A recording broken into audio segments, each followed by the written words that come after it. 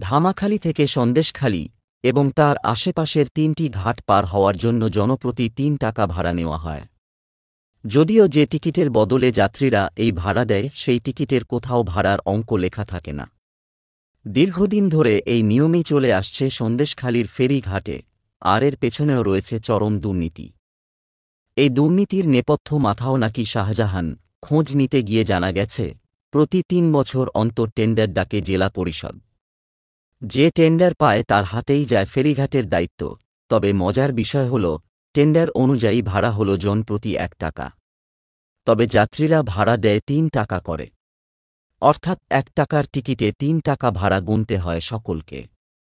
এবং এই বাড়তি দুই টাকার ভাগ চলে যায় শাহজাহান অ্যান্ড কোম্পানিতে। স্থানীয় সূত্রে জানা যাচ্ছে ফেরি ঘাটে হওয়া এই দুর্নীতির টাকার ভাগ পেত শিবু হাজরা এবং উত্তম সর্দারও। কারণ চলতি বছরের পাঁচ জানুয়ারি পর্যন্ত যে টিকিট দেওয়া হতো তাতে লেখা থাকত হাজরা এগ্রো ইন্ডিয়া। টিকিটে লেখা এই হাজরা মূলত শিবু হাজরাকেই মনে করছে এলাকার মানুষজন। যদিও বর্তমানে যে টিকিট দেওয়া হয় তাতে লেখা থাকে, সন্দেশখালী ফেরিঘাট, যদিও এই অভিযোগ অস্বীকার করেছে ধামাখালী ঘাটের কর্মীরা। টিকিট বিক্রির দায়িত্বে থাকা এই কর্মীরা জানিয়েছে জ্বালানির দাম ও নৌকার কর্মীদের মজুরি বৃদ্ধির কারণেই অতিরিক্ত দুই টাকা করে নেওয়া হতে। যদিও ফেরিঘাটের কর্মীদের এই দাবিকে স্বীকৃতি দিতে রাজি নয় তদন্তকারীরা। কারণ দুর্নীতি